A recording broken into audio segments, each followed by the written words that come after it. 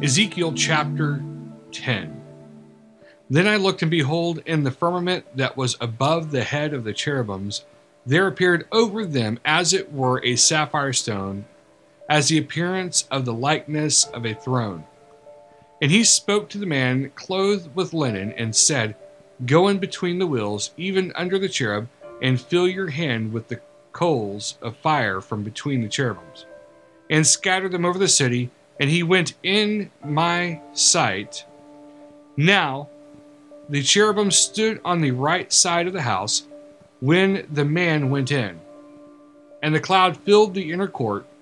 Then the glory of the Lord went up from the cherub and stood over the threshold of the house, and the house was filled with the cloud, and the court was full of the brightness of the Lord's glory. And the sound of the cherubim's wings was heard even to the outer court, as the voice of the Almighty God when he speaks. And it came to pass that when he had commanded the man clothed with linen, saying, Take fire from between the wheels, from between the cherubims, then he went in and stood beside the wheels. And one cherub stretched forth his hand from between the cherubims to the fire that was between the cherubims, and took thereof, and put it into the hands of him that was clothed with linen, who took it, and went out.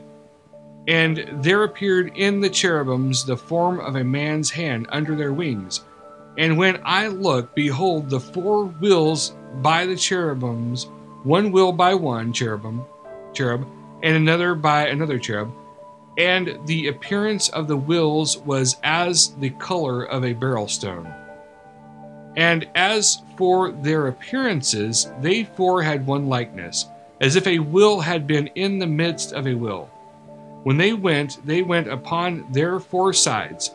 They turned not as they went, but to the place where the head looked, they followed it. They turned not as they went, and their whole body, and their backs, and their hands, and their wings, and the wheels were full of eyes round about, even the wheels that they four had. As for the wheels, it was cried to them in my hearing, O will. And every one had four faces. The first face was the face of a cherub, and the second face was the face of a man, and the third the face of a lion, and the fourth the face of an eagle, and the cherubims were lifted up. This is the living creature that I saw by the river of Chebar. And when the cherubims went, the wheels went by them, and when the cherubims lifted up their wings the mount, to mount up from the earth, the same wheels also turned not from beside them. When they stood, these stood, and when they were lifted up, these lifted up themselves also. For the spring of the living creature, or the spirit of the living creature, was in them.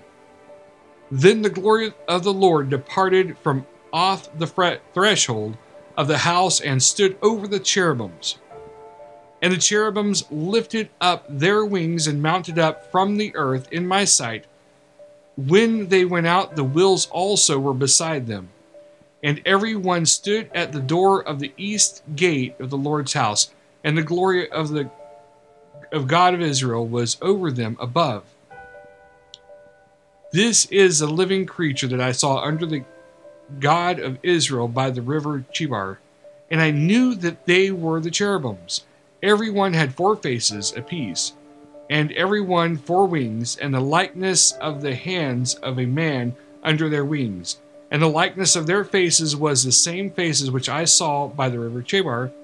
Their appearances and themselves, they went every one straight forward.